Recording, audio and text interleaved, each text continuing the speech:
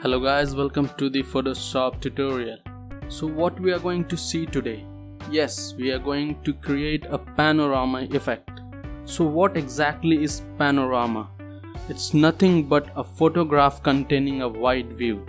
Suppose you go anywhere for a sight scene and it's sometimes it's not possible to take the whole scene in a single shot even though we have a different uh, a very advanced technology now nowadays uh, we can have a panorama effect in our uh, camera in our mobile. Even though we have this technology sometimes we forget to take these shots. So how we create? So first let me show you something.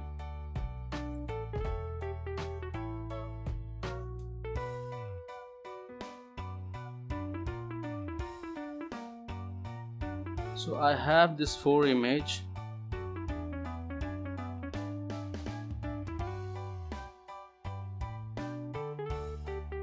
the all bunch of this four image has been taken from the same place but from the different angle. You can see here the image one. You can see the building over here on the right hand corner. Just go to the image 2 you can see it's here as well. So this image is of the same place but from the different angle. So how we create a wide view a wide panorama view. So that what we are going to learn today. So let me close all of this first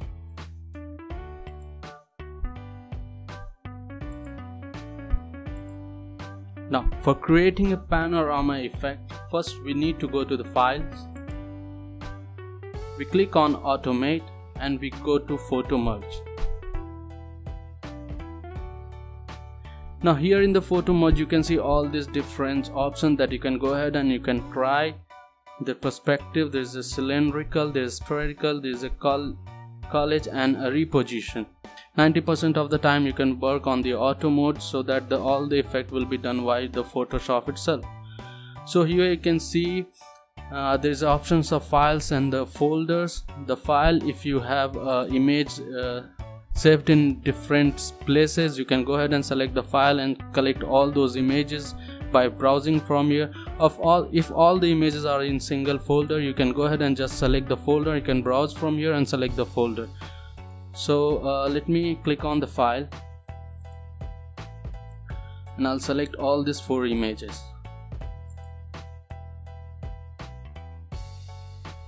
Now here we have the four options. First one is blend image together. So what blend image together does?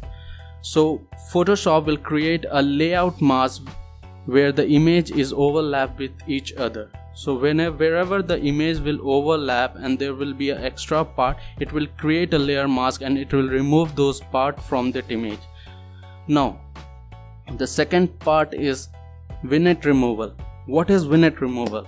Creating an exposure compensation in an image with darkened edges what it does it remove all the dark edges from the image now the third one is geometrical distortion correction. So what is geometrical distortion correction?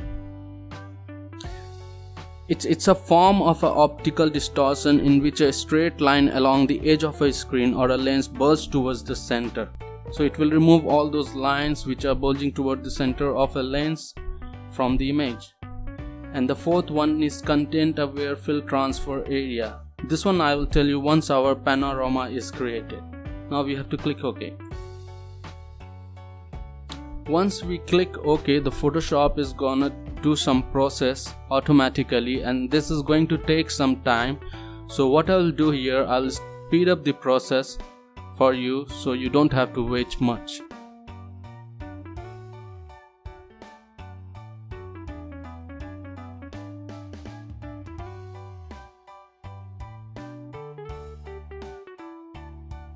so here we go. You can see here uh, the effect has been created. So what uh, really this uh, content aware do?